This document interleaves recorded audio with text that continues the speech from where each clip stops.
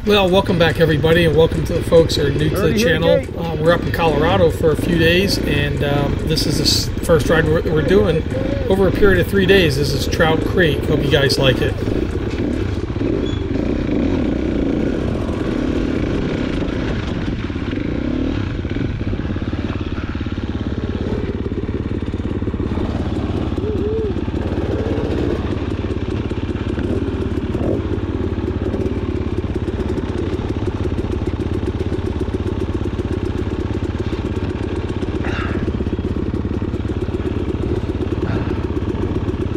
Yeah! Got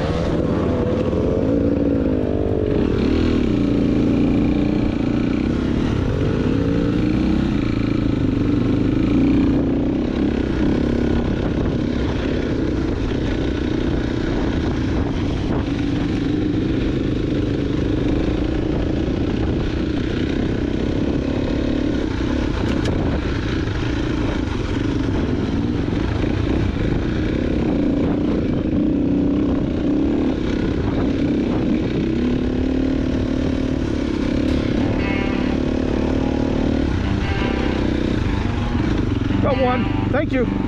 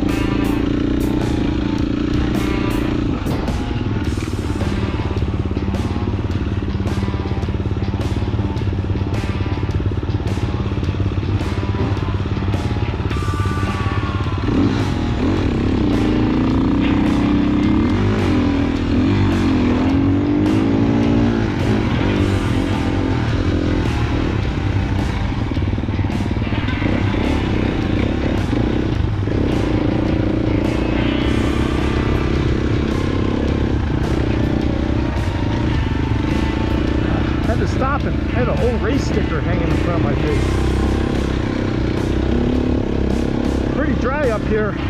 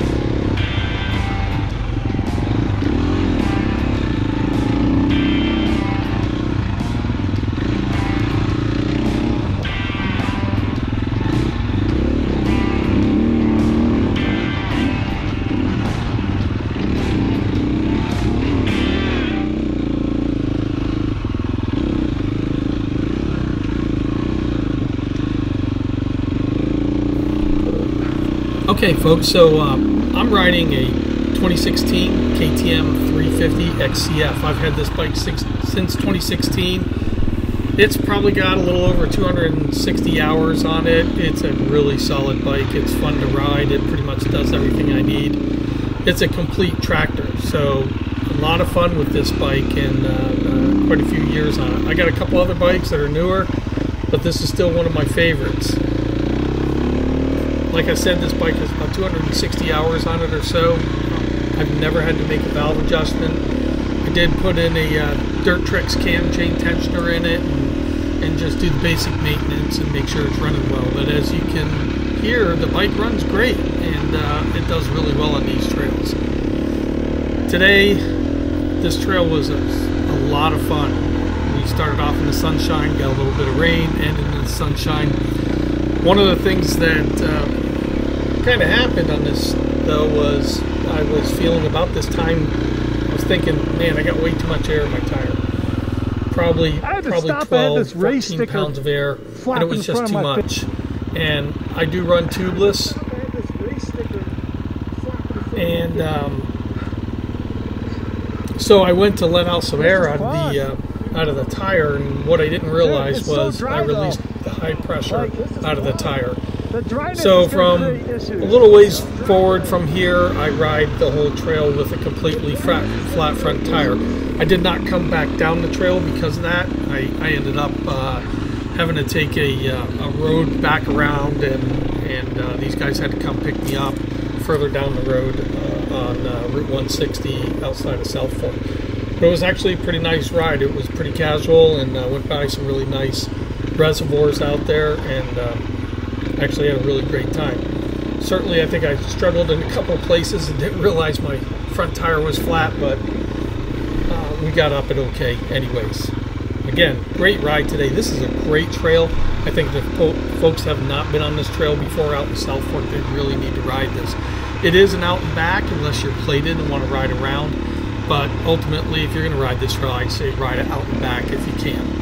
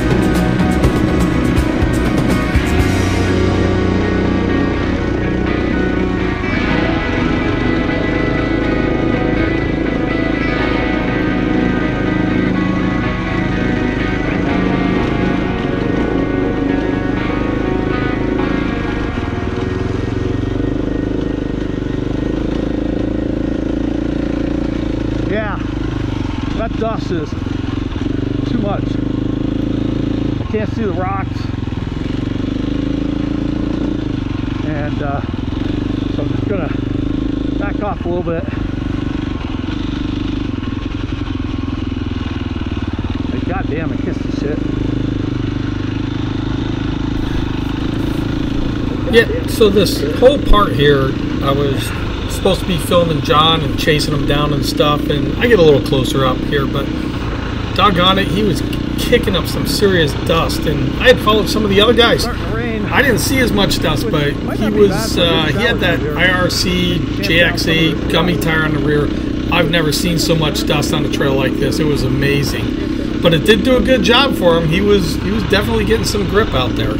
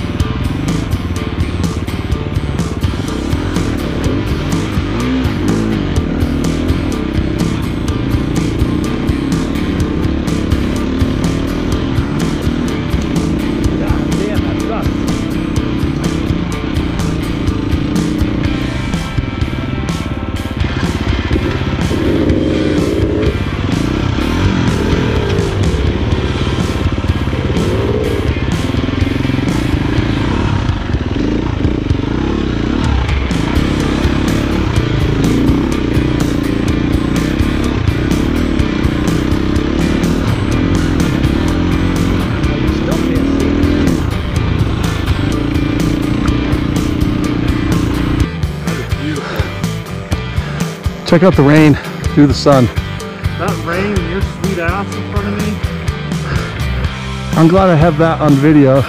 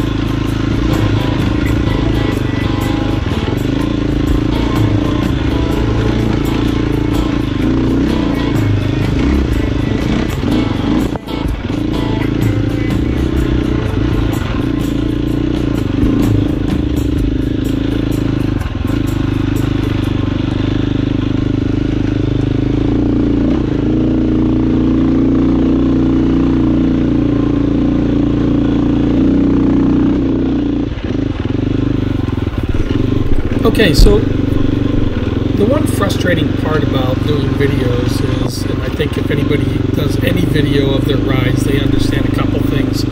Obviously, the video doesn't show all the embedded rocks that I'm currently riding over, and it doesn't show elevation changes very well. Yeah, maybe we can get somebody standing up on side of a hill or something like that, we can see it, but in reality, it really doesn't. We're pretty much going up the whole time here. Uh, I think we went up over 11,000 feet. Um, I'll check on that and I'll post something in the video at some point. But this was pretty much going uphill the entire time.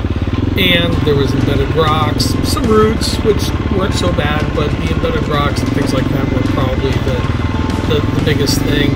Also, going off trail, basically you're just going into grass with embedded rocks. So, uh, the other thing that was kind of getting me here was four years away from Colorado now, and I get back there and ride, and in the high elevations like this, nine, ten thousand feet, I definitely feel it, and I was struggling a little bit at first to catch my breath, or I'd lose my breath quickly, or something like that. So, um, definitely a big change after being gone for a while.